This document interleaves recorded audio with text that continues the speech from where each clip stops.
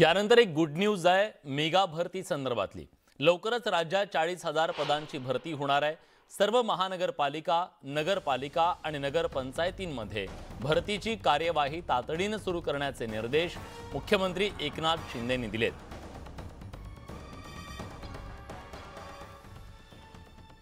भारतातील सर्वात मोठा बावीस किलोमीटरचा समुद्रावरचा पूल असलेला मुंबई ट्रान्स हार्बर लिंकचं जवळपास नव्वद टक्के काम पूर्ण झालंय.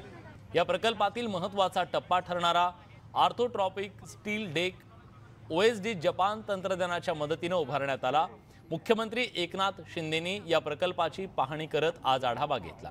मुंबई ट्रान्स हार्बर प्रकल्प याच वर्षी नोव्हेंबर महिन्यात बांधून पूर्ण होणार आहे. त्यानंतर ट्रान्स हार्बर लिंकवरून वाहतूक सुरू होणार आहे. शिवडी नावाशिवा सागरी सेतूमुळे प्रवास हा अतिशय वेगवान होणार आहे. या संदर्भात मुख्यमंत्री एकनाथ शिंदे यांच्याशी खास संवाद साधलाय. आमचे प्रतिनिधी उदय जाधव यांनी.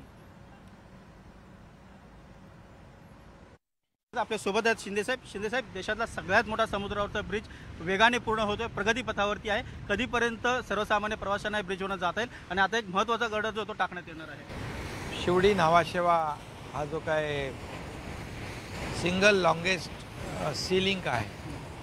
देशातला सगळ्यात लांबीचा हा सी ब्रिज आहे. बावीस किलोमीटरची याची रुं- लांबी आहे. आणि हा थेट आपल्या कोस्टल हायवे मुंबईचा. नरिमन ड्राईव्ह ते डायरेक्ट रायगड चिरले या ठिकाणी जोडणारा हा महत्त्वाचा पूल आहे. बावीस किलोमीटर आणि पाच किलोमीटर सत्तावीस किलोमीटरचा. अतिशय महत्त्वाकांक्षी प्रकल्प मुंबई आणि एम एम आरसाठी आहे. आणि हा नोव्हेंबर तेवीसपर्यंत हा कंप्लीट होईल.